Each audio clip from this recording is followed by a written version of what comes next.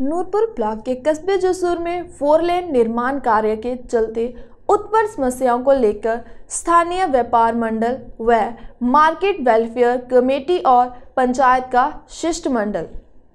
SDM Nurpur Gurkirat Singh उनके कार्यालय में मिला था। तथा ज्ञापन सौंपकर कस्बे की पार्किंग व्यवस्था, यातायात में बार बार अवरोध पैदा करने व धूल मिट्टी उड़ने आदि के बारे में बताते हुए कहा कि इन कारणों के चलते यहाँ के कारोबार पर असर पड़ रहा है। गुरकीरत सिंह ने संबंधित निर्माण कंपनी के कर्मचारियों से जसूर में आकर बात की।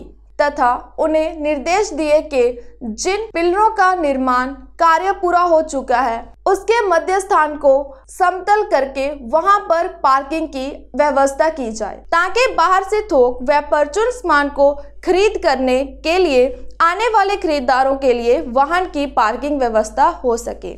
देखिए, इसमें कुछ दिन पहले, तीन चार दिन पहले जसूर व्यापार मंडल के जो प्रतिनिधि हैं, वो मेरे पास आए थे, जो कि मेन इशू था वो पार्किंग का। और कुछ पानी के छिड़काव का और कुछ डाइवर्जन हमें करनी थी। तो इसके रिगार्डिंग हमने पार्किंग का जो इशू है वो डिस्कस कर लिया है कंसर्न इंजीनियर से। तो एक दो दिन में ये इसको रिजॉल्व करवा देंगे।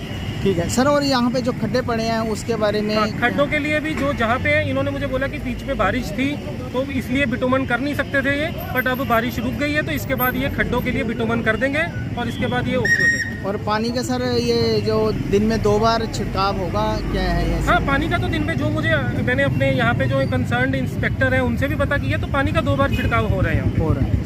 नूरपुर से संजीव महाजन की रिपोर्ट युग मार्ग टीवी।